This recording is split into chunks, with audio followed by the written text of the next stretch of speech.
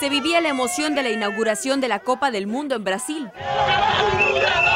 Y así se vivieron las primeras horas de este día en Sao Paulo, ciudad sede del partido inaugural del Mundial.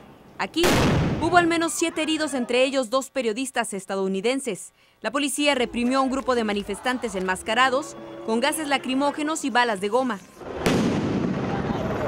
Mientras tanto, en Río de Janeiro cerca de 2.000 personas se manifestaron. En la ciudad de Belo Horizonte quebraron vidrios de establecimientos, voltearon autos y gritaban consignas en contra de la FIFA. Las protestas contra la organización del Mundial se extendieron incluso a las gradas del Estadio Arena Corintias de Sao Paulo, donde se oyeron insultos contra la jefa de Estado brasileña y el presidente de la FIFA. También hubo protestas en otras capitales regionales.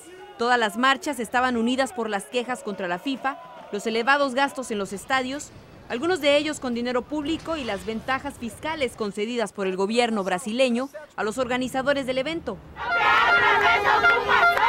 Entre los manifestantes había profesores que exigieron más inversiones en educación, además de grupos feministas y militantes de partidos políticos de izquierda.